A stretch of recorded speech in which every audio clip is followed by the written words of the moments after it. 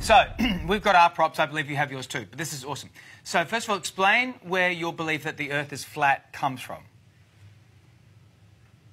Sure. My belief where the Earth where the Earth is flat comes from five different reasons, real fast. Uh, one, long distance photography, which is if it is a globe, then we shouldn't be able to see as far as we can with high def cameras. Two would be gravity versus the vacuum of space, meaning the atmosphere should be sucked out into space almost instantly. The power of the vacuum cannot be defeated by gravity. Third would be the eclipse shadow. The eclipse shadow, it's the wrong size.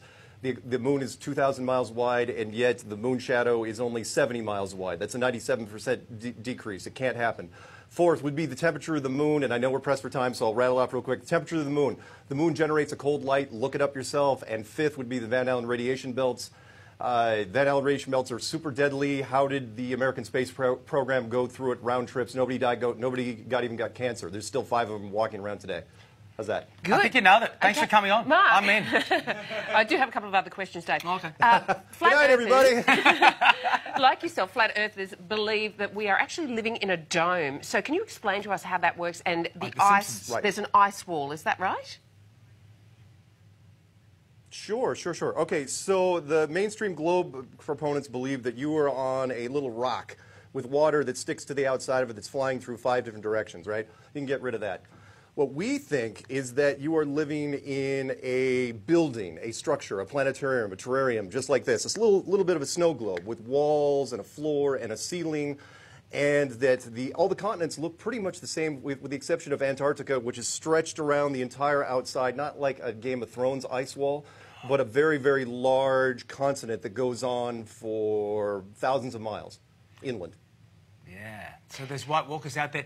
Um, so then, when I was growing up, right, when I was growing up, Mark, and, I, and, Right. and we see shots of space, and we live in a solar system with planets, and all the planets are round. Round. So then, how come we're flat and they're round, or am I not seeing the Or we, right when thing? we see shots of the Earth from space, From space. it's a sphere. Well, there you go. Uh, somebody's got to be lying. And if you believe the American space program, well, you have another thing coming. Uh, what I'm saying is that NASA has been fabricated since minute one to basically keep this thing under wraps. The sun and the moon and the stars and the planets are just part of a light show, no different than if you went to a planetarium and looked up on the ceiling. I mean, the technology is much, much better. We've been doing planetariums since the 1970s. But can I remember, we've only been, had HD technology for the last 20 years. Imagine what we could do in the next 100. So whoever built this, way more advanced than us. Wait, who built it? Well, take your pick. Aliens? It's, it's one of two things. It's either a highly advanced, it, well, either an advanced civilization. I don't like to call them aliens because I don't believe in, in that they come from Mars or Venus or Saturn. I think they're older versions of us.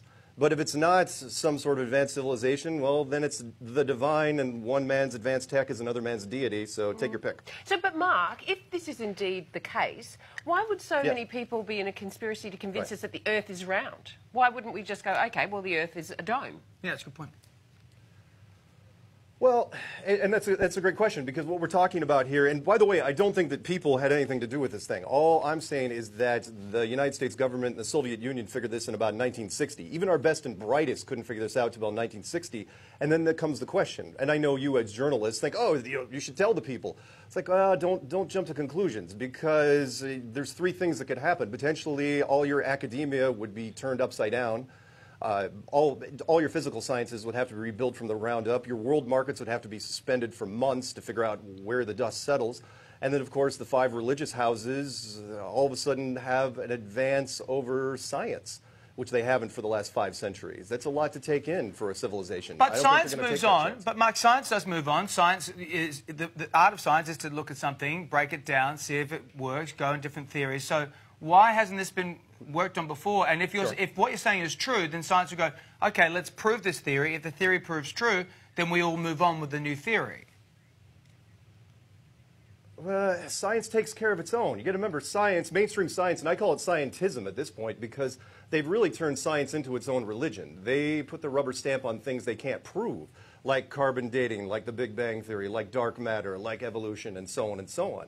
But if science has been pushing this for the last five centuries, they've got a vested interest in it. from their institution standpoint. It's the foundation of everything that they are. So- they're going to protect it Mark- at all costs. Mark- so I don't, I don't blame them. In, in, in flat Earth theory, Antarctica is actually an ice wall at the edge of the Earth, and a group of people are planning an expedition there, I assume, to prove the theory, right? Well, it's a nice idea, and I hate to burst your bubble, but that particular story was spawned from our because we do flat Earth conferences, and the conference in 2020 is actually going to be a cruise, but it's leaving out of Miami, and it's just a recreational cruise.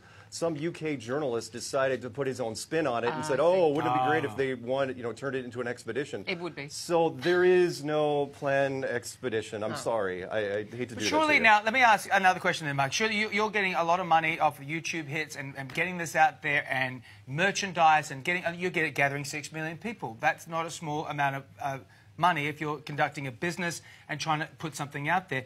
Couldn't you, like uh, Tesla or somebody like that, conduct your own experiment by getting into a rocket, going up there and having a look for yourself, or you know, uh, going to the ice Well, wall and okay. seeing if the walkers are there? The expedition would be nice, absolutely. But the Antarctic Treaty, which is rock solid and not even up for debate until 2041, keeps just about any authorized expedition from, from happening. So we are stuck with the ground experiments. Uh, long, long distance photography, lasers, uh, weather balloons. Take your pick. We do a lot of different experiments. But yes, the expedition would be nice. And as far as money goes, come on.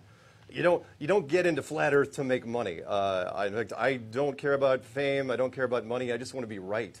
And I don't make that much money off it yet. yet.